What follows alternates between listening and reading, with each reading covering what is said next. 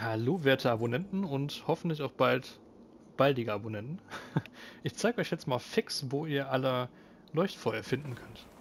Zuallererst ganz einfach und leicht wäre es am Weiler. Ich spawn jetzt mal so ein bisschen hin und her. Der Weiler kommt nach dem Bossfight im Moor. Gegen den ähm, verstummten Heiligen heißt der Gute. Dann könnt ihr hier eh direkt hinlaufen.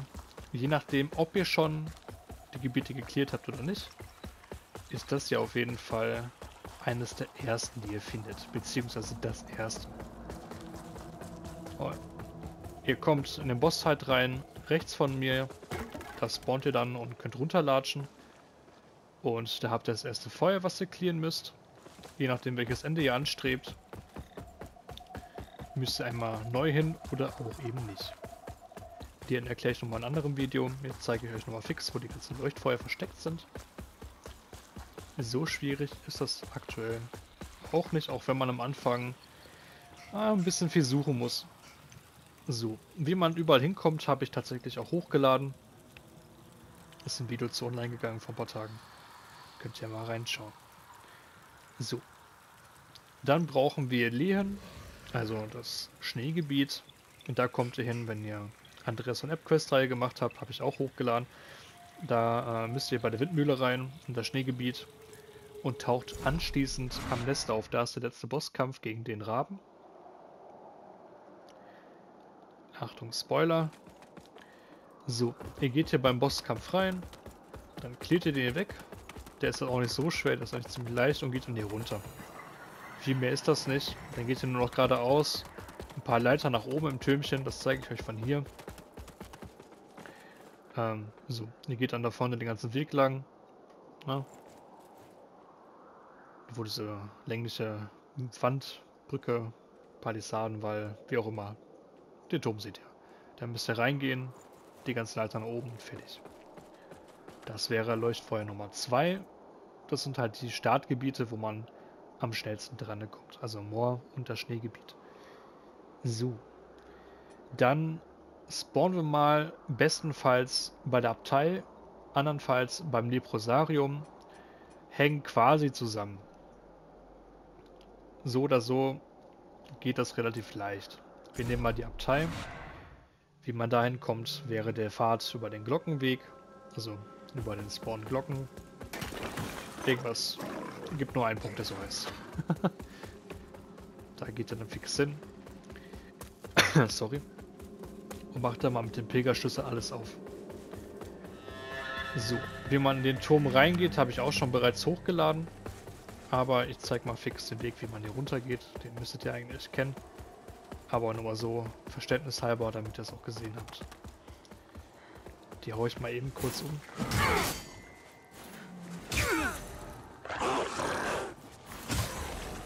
Weil die sonst ein bisschen abnerven werden. So. Dann latschen wir einfach hier durch. Wie gesagt, von der Abtei runter oder vom Leprosarium hoch. So oder so kommt ihr hier vorne an dem Türchen rein und raus. Wie auch immer man das nennen möchte. Hier wartet dann der Sturmut auf euch mit seiner Quest. Da müsst ihr nur noch hier vorne einmal durch. Und den Turm fertig machen. Das ist schlecht. Ich dachte eigentlich, dass ich den nicht mehr machen muss. Ein Moment. Hab ich ein bisschen vergessen. Naja, den Turm müsst ihr fertig machen. Und dann seid ihr damit auch durch. Da könnt ihr an der Seite hochfahren mit einem Aufzug, wo genau der ist und was ihr machen müsst, habe ich auch hochgeladen im Video. Ist gar nicht so schwer. Das ist halt der Turm. Ganz oben ist das Leuchtfeuer, was ich jetzt meine.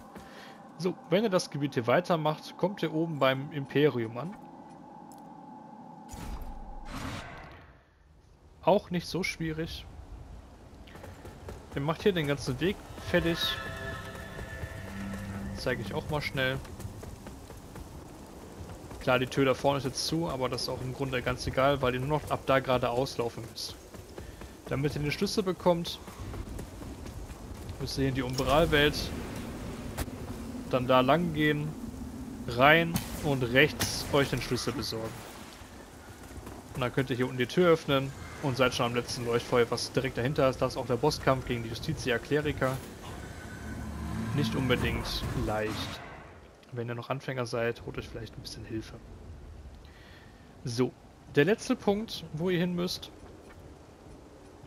wäre in Kalrat. Da. Da kommt ihr durch die Mine hin, müsst einfach hochfahren nach den Hauträuber. Den Weg habe ich auch hochgeladen.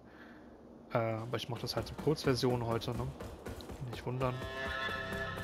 Entweder kommt ihr aus den Minen hier direkt hoch und macht es hier fertig, oder aber ihr macht halt den anderen Weg.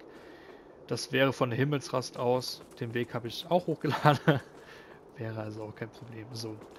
Ihr müsst halt hier in der Umbralwelt einmal rein. Da vorne, vor mir, ist eine kleine Leiter, da geht ihr hoch, macht kurz die Hexe kalt und links davon ist so eine Umbralfigur, die stoppt da alles. Dann macht ihr nur den Weg fertig und seid auch beim letzten Leuchtfeuer. Das Ganze ist gar nicht so schwierig, es sind halt nur die fünf. Hier ist das letzte Gebiet.